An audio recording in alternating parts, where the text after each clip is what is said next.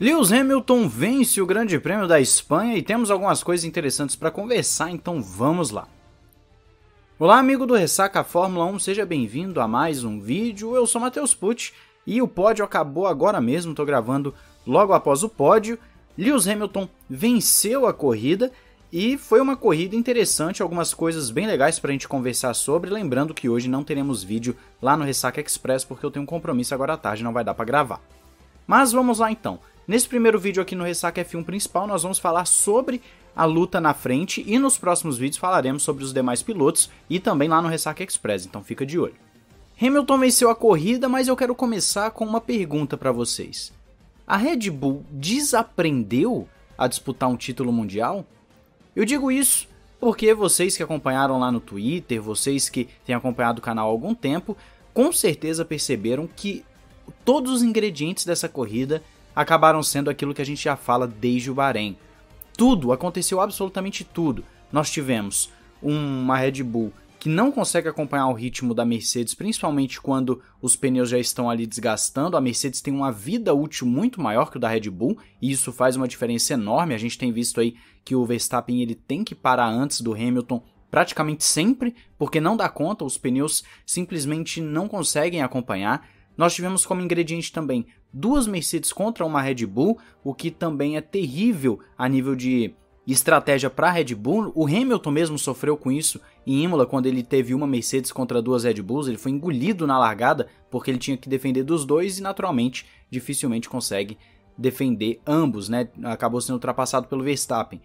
E aí, quando você tem dois contra um, é sempre uma situação absolutamente complicada. Se o Pérez tivesse envolvido nessa disputa ali na frente, com certeza o Hamilton não faria essa estratégia de duas paradas porque teria uma outra Red Bull para poder segurá-lo.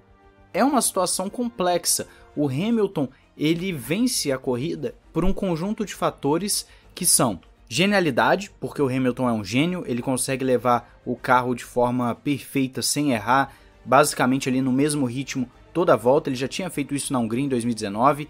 Foi uma corrida fantástica do Lewis Hamilton por conta disso. Também a estratégia da equipe e as burrices, por que não chamar de burrices, da Red Bull. A Red Bull parece que desaprendeu a disputar um campeonato mundial, eles estão sendo passivos, eles estão no modo 2020. Se a Mercedes vacilar um grande prêmio, a gente vence. Eles ainda não entenderam que estão disputando um campeonato, se é que nós ainda teremos um campeonato, porque a Mercedes está deixando absolutamente claro que já recuperou o terreno perdido. Se antes, na pré-temporada e no Bahrein, o carro mais rápido de quali e de corrida era o da Red Bull, agora não é mais. A Red Bull tem perdido não somente no quali, mas o ritmo de corrida está absolutamente inferior ao da Mercedes. E digo mais, o Hamilton só não passou o Verstappen antes porque realmente aquela chicane que tem no terceiro setor para poder ir para a reta principal é uma coisa ridícula, absurda. A Fórmula 1 precisa tirar isso urgentemente. Aquela chicane está aí já faz alguns anos e ela só tira as possibilidades de disputa. É claro, nós temos o DRS, que é uma aberração para poder corrigir esse problema crônico dos carros da Fórmula 1 atual, né, que a gente espera que em 2022 isso seja corrigido, mas ainda assim, o Hamilton só não passou antes porque o circuito é realmente muito ruim nesse quesito. Esse terceiro setor principalmente é muito ruim porque o Max não teve chance em momento algum. Ele fez uma largada excepcional, porque o Verstappen tem feito essas largadas nas quatro corridas e tem largado muito bem.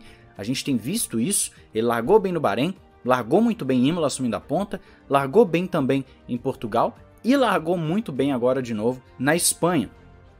As largadas têm sido muito boas e, claro, largadas ajudam a ganhar corridas.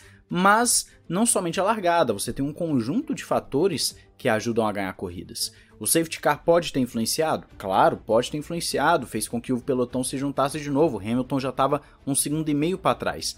Mas ainda assim, a Red Bull falhou redondamente com a estratégia do Verstappen e não somente eu tô falando isso. Se você olhar o pessoal, tanto o Sérgio Siverli quanto o Lucas lá do Projeto Motor, o pessoal no Twitter, todo mundo comentando como a Red Bull simplesmente não consegue mais disputar com a Mercedes, seja por conta da estratégia, seja porque o segundo piloto não ajuda. O Bottas ele pode ser fraco, o Bottas ele não consegue bater de frente com o Verstappen, então se o campeonato fosse Verstappen e Bottas seria 23 a 0 Verstappen, mas o Bottas pelo menos nisso ele faz muito bem, ele cumpre o seu papel. Se você vê a corrida do Bottas foi bem morna. Ele ficou um tempo atrás do Leclerc, ele perdeu a posição pro Leclerc, ficou um tempo atrás do Leclerc, mas depois que passou o Leclerc não, não teve muita dificuldade de manter o ritmo e ele influenciou diretamente esse jogo de equipe. Por quê? Porque o Pérez não estava ali.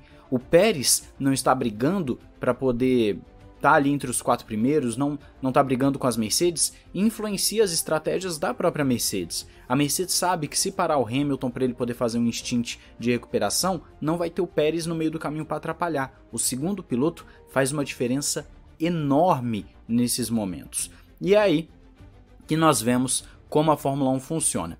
O Hamilton, como eu disse, ele tem a genialidade de levar o carro num ritmo absurdo por várias voltas. E ele tem ao somatório disso um carro fantástico. Então é um conjunto, carro-piloto, não é somente carro, porque se fosse só carro, Bottas estaria vencendo, e não é só piloto, porque o Hamilton, quando não está num carro de ponta, não vence também, é normal, isso é absolutamente normal, isso não diminui ninguém. É um conjunto de fatores, e aí você tem uma Red Bull que falha nas estratégias, uma Red Bull que não tem segundo piloto, porque o Pérez está sendo a mesma coisa do Albon e do Gasly, né? Nós já temos quatro corridas, já dá para falar isso. Se fosse só uma corrida ou outra, tudo bem, mas as quatro corridas nós não tivemos o Pérez brigando ali, nas quatro corridas, e a verdade é que o Verstappen está carregando a Red Bull nas costas como ele faz desde que o Ricardo saiu. Quando era Ricardo e Verstappen, os dois se puxavam para frente. Agora, desde que o Ricardo saiu, o Verstappen carrega nas costas e ele ainda tem um carro que, pelo visto, não trata muito bem os pneus. É um carro que sofre muito e a gente vê que não é a primeira corrida, mas é a segunda ou terceira que os pneus médios vão muito mal nesse carro da Red Bull. A Red Bull realmente não está conseguindo tratar os pneus e ou eles param com a passividade ou o campeonato acabou. Porque Mercedes e Hamilton vão só abrir mais e mais e mais. Né? A Mercedes e o Hamilton estão nem aí para isso, claro, mas eu estou falando a nível de campeonato. A Red Bull simplesmente está dormindo no ponto. E uma equipe extremamente competente, bem organizada, como é a Mercedes, não vai deixar passar esse tipo de oportunidade. A Mercedes sabe que ela tem um Hamilton no volante, então ela pode fazer estratégias diferentes que o Hamilton vai compensar a perda da estratégia. Se fosse o Bottas, o Bottas eu tenho certeza que não teria passado o Verstappen. Então, esse conjunto carro excepcional com um piloto excepcional consegue bater o outro conjunto que é um carro muito bom da Red Bull, que Repito, a Red Bull não tem mais o melhor carro, isso acabou. Na quarta corrida da temporada, a vantagem que ela tinha na pré-temporada acabou. Simplesmente sumiu essa vantagem. Parece que a Mercedes evoluiu o carro e a Red Bull ficou estacionada, estagnada. A Red Bull não conseguiu extrair mais desse seu carro. E você ainda tem um, um piloto excepcional que é o Verstappen, muito rápido, um piloto que muito jovem, mas muito maduro, muito rápido, mas que naturalmente não vai conseguir sozinho brigar contra duas Mercedes. Isso não vai dar é, certo a nível de campeonato para a Red Bull. Então, ou a Red Bull começa a ter dois carros ali na frente e começa a evoluir o carro, ou a Mercedes vai nadar de braçada daqui para frente. O Hamilton ele tá um pouco mais animado, mais empolgado, justamente porque tem o desafio da Red Bull. Mas aí agora eu vou pegar a frase do Sérgio Milani lá no Twitter, em que ele fala: Temos disputa, mas será que nós temos um campeonato? Porque a princípio o campeonato já está nas mãos da Mercedes, o campeonato já tem quase que um vencedor se for continuar dessa forma.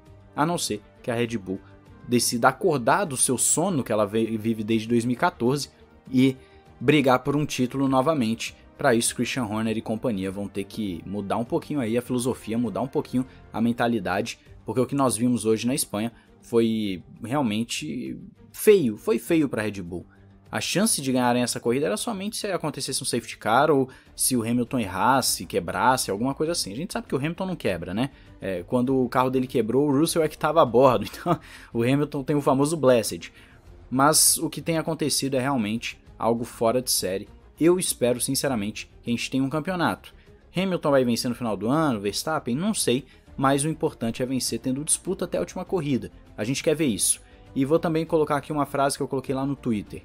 Pela primeira vez na era híbrida, a Mercedes teve um desafio nas quatro primeiras corridas, onde tanto Hamilton quanto o adversário da outra equipe disputaram diretamente a vitória. Então, é a primeira vez que isso acontece. Com a Ferrari, a disputa com a Ferrari em 2017 2018 foi uma disputa de boxe. O Hamilton e o, e o Vettel quase nunca se encontravam na pista, mas aí nós tivemos agora um Verstappen e Hamilton que estão se encontrando toda hora na pista e está sendo bem legal de assistir. E aí, o que, que você achou da corrida desses caras aí da frente, Diz aí nos comentários e, claro, não esqueça de se inscrever, ativar o sininho e ficar de olho lá no Ressaca Express.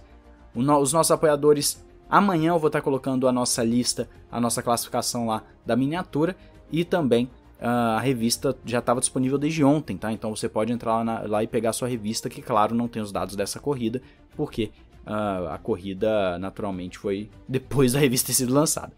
Um grande abraço, valeu e falou!